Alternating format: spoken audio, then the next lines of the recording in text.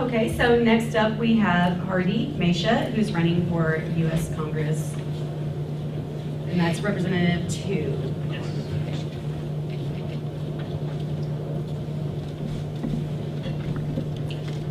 Uh, Name's Hardy Macia, running for U.S. Congress, District 2, against Charlie Bass and Ann Kuster.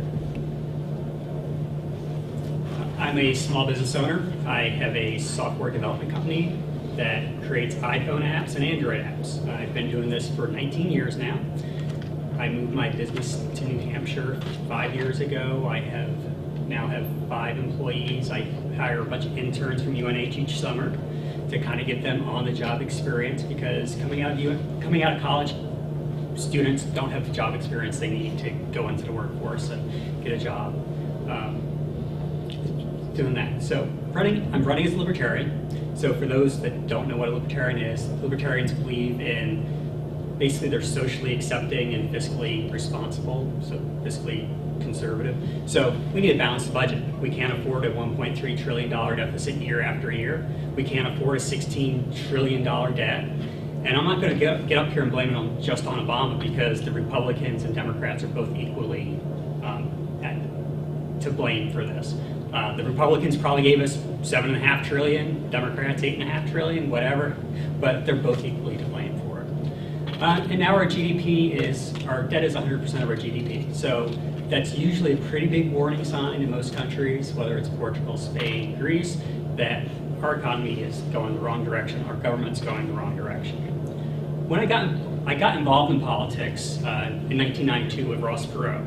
And what I liked about Ross Perot was he was up there, he was saying things that he was different from the Republicans and the Democrats, and he was focused on balancing the budget. All the same issues from 92 still apply to us today. Uh, we still need to balance the budget. So what Ross Perot did, though, when he got included in the debates, was he focused the issue on balancing the budget. And what happened was we had a Republican Congress and President Clinton who ended up balancing the budget for us. And this is, okay. All right, so now, now we'll open it up to um, questions. Okay, so Marty, if you're elected, what will be your highest priority? balancing the budget.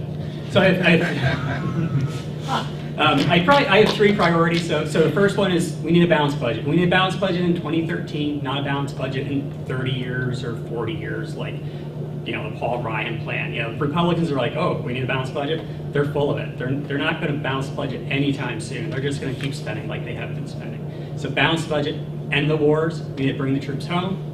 That's all the wars, every place we're at we need to cut the budget 43%. And to cut the budget 43%, we need to look at all the programs, and that's social programs, and that's military too. So if we cut the military spending by 43%, which is what would be needed to balance the budget, that would take us all the way back to 2003 levels. So I think we were safe enough in 2003 that we probably can cut, figure out a way to cut 43% out of the military budget to get to a balanced budget, so we don't have a collapsed economy. Because if our economy collapses, or we hit hyperinflation, or you know just superinflation, um, then we're not going to be able, able to even to afford to take care of the people that need taken care of, whether that's Medicare, Medicaid, Social Security. We need to take care of the problem of the budget right now. Okay. And what is your preferred tax policy? Okay, well, our current tax policy sucks. I'm a small business owner. Um, it's costly, it's complicated, and it's corrupt. It's costly because it costs us, costs taxpayers anywhere between 300 billion and 600 billion dollars every year just in compliance costs. So that's paying for your tax software, your accountant, all the time you spend filling out your, you know, your 10W40, your 1040 form, and you know, even the IRS agents don't know what's involved in the tax code. If you call them up, you have a 50-50 chance of getting the wrong answer. So it's definitely costly.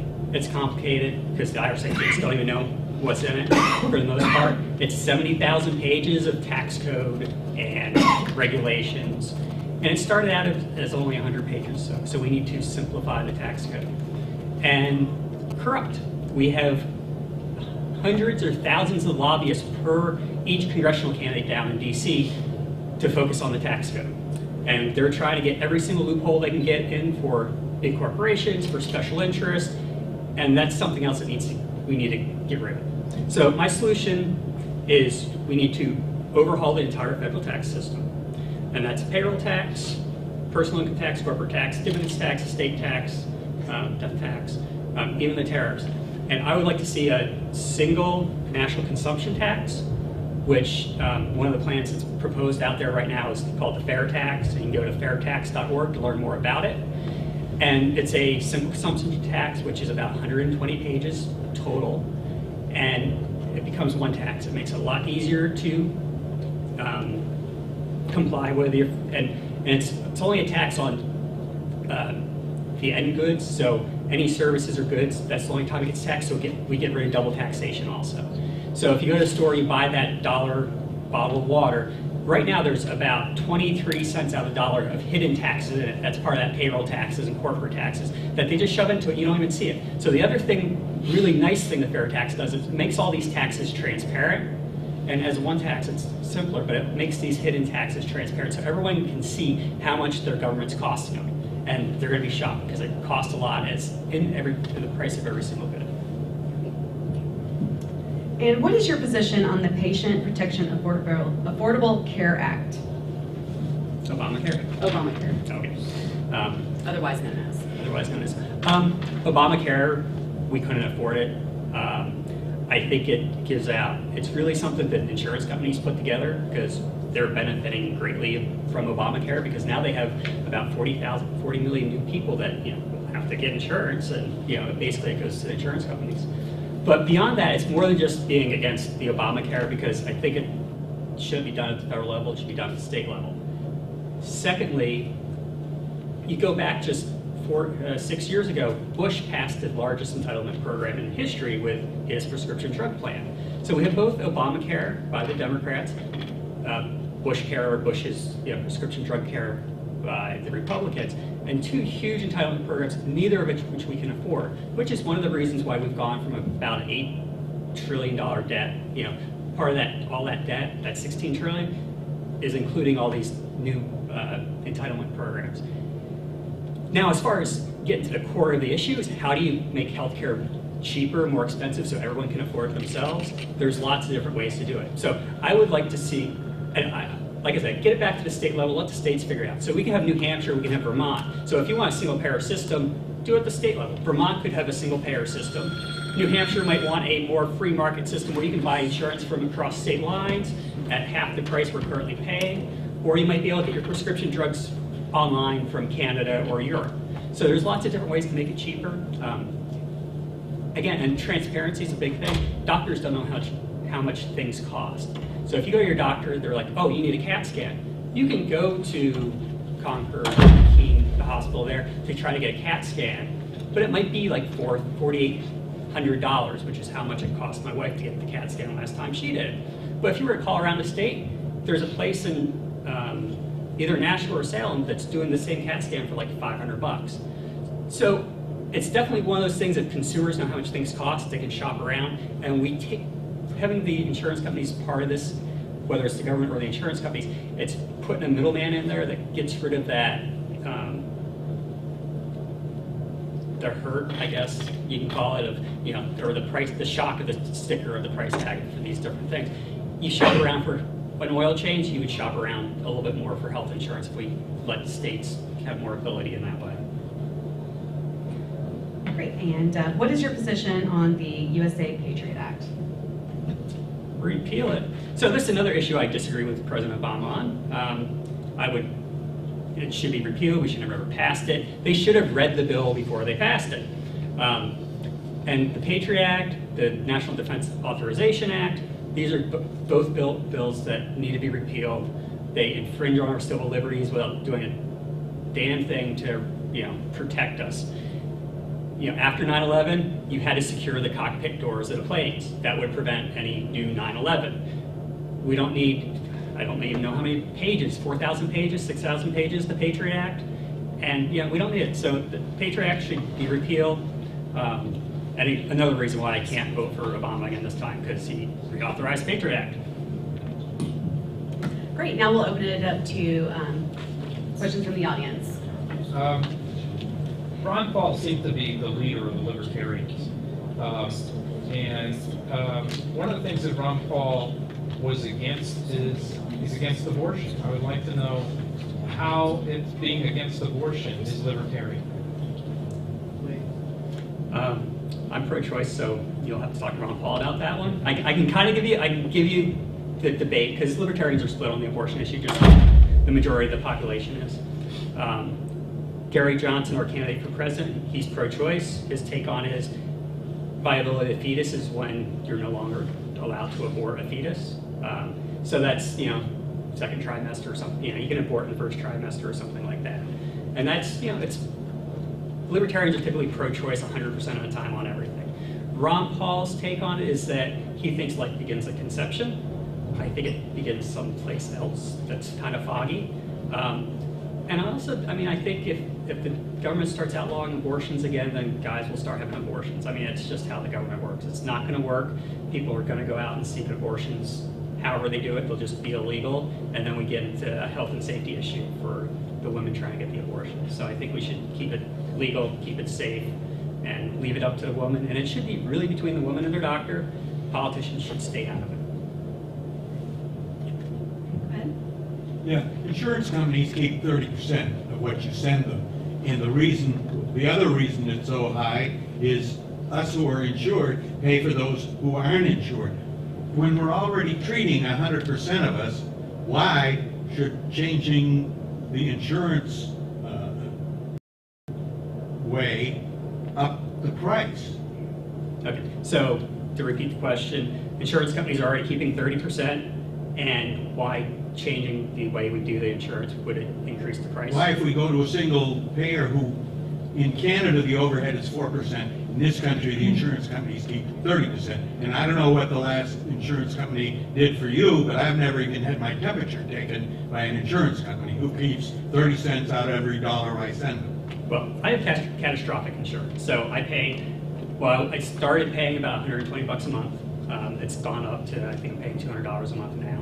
There's a $5,000 deductible with it, and there is, um, uh, I also have a health And where savings does the account. average guy get the five thousand dollars? Well, you, you don't use it un- unless you need it. So for most people, I haven't needed it since I started my insurance when I was, you know, out of college and I started buying. my- And your I- employees could come up with five thousand dollars if they get sick? Not, it's, that's a deductible, so they pay Right. part of it. So the other part of it is I have the HSA. So for the health savings account, each year I can put in up to two thousand. And lots of companies put in, match that HSA. You're not an average guy, income-wise.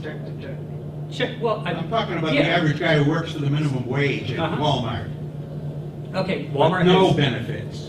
well, I, I- my sister works, sister-in-law works at Walmart and she gets benefits. So it depends on She's who, a low-wage worker. I, sh- she's probably middle. Oh, not, She, not she, the- she doesn't work, she's not a cashier. Anyway, back to your question. So, you know, so how's my health, health insurance company helping me? You know, I, you know, I have a five thousand dollar deductible. I haven't had to pay it. I've been, you know, I put money into my health savings account to save up for, you know, needs. But that's only because health insurance has been so much. When I started out, it was only eighty bucks, eighty dollars a month, and a twenty-five hundred dollar deductible. But we have governments putting in different regulations like, oh, now, now my insurance company sent me a letter saying, oh, we, we have to raise your deductible because now we have to cover you for pregnancy. Well, I'm never gonna get pregnant, I'm a guy. So, but where my health insurance company, I like my health insurance company, is I just came down with Hodgkin's lymphoma six weeks ago. So now I have cancer, starting chemo. And so I've, I've hit my 5,000 and they will put you on a payment plan that hospitals will to help you pay for it if you can't afford it out of pocket. So there, there are ways to get around it and then, then the hospitals will also, you know, help you out there also. Ms. Tilton? I'm just wondering, where do you think the hospitals get the money? I mean, Eh. not, you know, somebody is paying that bill. Yes, someone is paying that bill. It's people who have health insurance and their insurance premiums are high in order for the hospital to be able to skim off money to pay for the uninsured. Yep. If everybody's insured, one hopes that, you know, the costs go down. You would For hope. everybody. They- They'll go earlier before they're in desperate, They, desperate. they could, they might, they might not, or, or they might go, or they might all go earlier and go for, and for every single cold that you get. But that's, and they go to, well, hey, my wife's in the, has been going to the ER like every other day because her doctor says, oh, go to the ER for whatever it is because That's the way that they're sending her right now. And she's on Medicaid. She's on Medicaid. She has insurance. And they keep sending her to the ER. So this current system's broken. I mean, I, I think you can all agree the current system's broken. It's the way, how do we get, how do we get it fixed? Single payer might work. And I'm saying, I'm okay with single payer, make it the state level, leave it at, get, don't do it at the federal level. Because that way we have 50 laboratories of innovation trying to figure out what might work best. And a single payer might be it, and it might be a mixture of single Works in payer. every other modern country in the world. Yeah, we, we can debate that too, because there's lots of, you know, that, that's also for debate. It works in lots of countries, but you're also on a waiting list in, in England, you know? Okay, that's time. Okay. Thank you very much. Oh, I'm sorry, you did get your 90-second statement now. I'm sorry. All right. Um, so my website is hardymacia.com, H-A-R-D-Y-M-A-C-I-A. I'm a Libertarian candidate for Congress in the second district. Um, my top issues: balancing the budget, getting ending the wars, bringing our troops home, and then fixing our corrupt, costly, complicated tax system. Um, which one of the other benefits of it, it's actually, the fair tax is actually a green tax system, so it encourages people to recycle, reuse. Um, it also brings job, would bring jobs back here because no longer are companies going offshore for everything, because the United States will be the place to incorporate again, and that's where all the companies will want to bring their jobs back, because uh, the fair tax, what it does is, there's no business-to-business tax anymore, so they are now 23, 30% more competitive with countries overseas. So you're more competitive with China or Japan or wherever you're trying to compete with. So that's another benefit of the fair tax. Um, 30 seconds. Okay. Um, marijuana was brought up earlier. Legalize it, just like uh, the candidate for representative said. But Obama, he's increased raids on medical marijuana facilities. Another reason why I won't vote, vote for Obama this time around. Um, it's something, and I think it needs to happen at the state level. We have three states passing voter initiatives this election. If a state block, sends it down, like with alcohol prohibition, the other states will follow. Then we'll finally get it at the federal level. Thank you all.